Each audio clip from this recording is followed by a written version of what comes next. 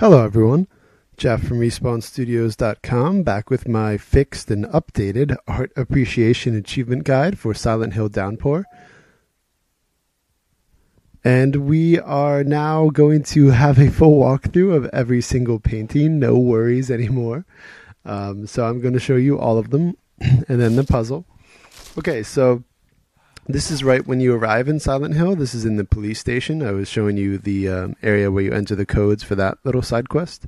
Um, but you pick up the fire axe, which is right next to that door, use it to chop down the wood, and the first painting is back there. Okay, now we've come back across the balance beam, and we are outside of the police station. There's always a prison minion in the side yard if you are here for the first time, so try and take him out. Or you could just run by him, but often he blocks that door. And our second painting is right over here in the underground entrance. We go through the first door, and the painting is going to be in like the ticket booth, I guess, kind of area. Right there.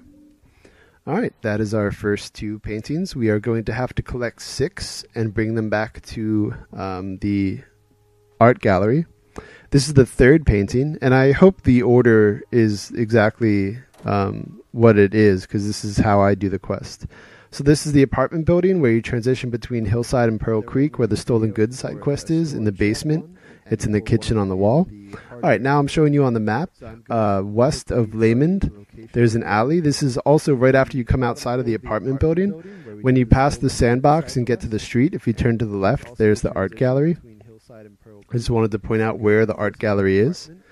It's right there at the end of the alley on the left. All right, now this is at the top of the street uh, to the um, eastern side of the park. There's that um, mystery, and it shows you the code to unlock the door, which is 827. I believe it's the same for every difficulty. And you enter it after you've ducked under. And there's going to be our next painting in here. is just sitting there in the van. Right here at the back. is the other four paintings. This uh, video playing right now is me picking up the one in the storage shed. Where you had to enter the All code. now this next one, once I finish derping around, that was the painting. I'm in. I'm the idiot. I was derping around myself at the back of the room, thinking that was the painting. So there's our next painting. I'm an idiot. All right. So now this is the back side of the movie theater. Across the street. Across the street, around the bend, this is, um, I believe it's the hard. Yeah, it's the hardware store. Um, and to get this, it's in the back room, which the key for is for some reason in the cash register. You open it, The cash register, get the key, use it, and you come back here. And the painting is going to be in this column over here. You have to push the box out of the way. If it wasn't, please. And there we go. the comments, and I could explain further for you. All right, that is our uh, fifth Alright, so painting. Now we just need one more. Now we bring them back to the art gallery. and our final one. All right, I'm going to show you on the map. We are in the, um, I believe this is called the Port District, or if not, it's the Pleasant River, but they're on the map. Um, if you stay up top, it's closed off on the bridge, so be sure to come down through that fenced in area. And over here on the left side of the street is a blue van, bluish green.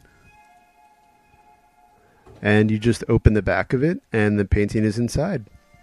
So now you take all six paintings back to the basement of that art gallery, which again is west of Lehman Street in that alleyway right outside Between Raymond and of um, the other the alleyway. And in the basement, there are already three paintings on the table, and you place the six that you picked up, and you now have to match up these symbols. Now, I've skipped to the very end, um, so if you want to pause the video and see exactly where each one is, if I'm going a little too fast. But this is how the painting's going to have to end up. Want, You could pause the and see where The ship in the middle left, the house bottom left, actually already three lighthouse top right, just things like that. Um, you're trying to match up the red symbols, though, that are over them. There was this And then when you're done, you'll know, because So again, I'm sorry You'll get was quick. I indicators. And then if you use the forensic flashlight, it shows you this crude map. Figure it out. but I'll Um, just tell you, you have to go flashlight, it shows um, a little map first head towards St. Maria's And in this Monastery, and then when you're going up the pathway toward it, on the left one of the main is going to be a staircase down to a graveyard. Before you go in the monastery. And in this graveyard, you want to come in the first mausoleum on the right, and you can take the stair. Uh, no, I guess it's the second. you see, I'm And we now already forgetting this.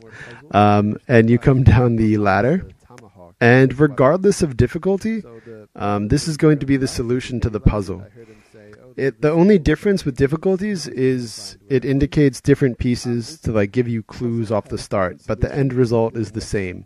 There are nine pressure plates, and you always have to hit the same four. Um, so you see, I'm on easy. The bottom left was already pressed in. The center had a red palm. You have to hit the top left, the bottom left, the center, and the bottom right. And so on easy, the bottom left was already pressed, and there was a red hand. There we go. One, so we know where two And that will give you the achievement. Hopefully, you're not immediately nailed by this weeping bat like I was. And the prize is a tomahawk. When you go down the stairs, push the uh, lid off a mausoleum. But that is the Art Appreciation Achievement Guide. Thanks for watching. Hope that helped.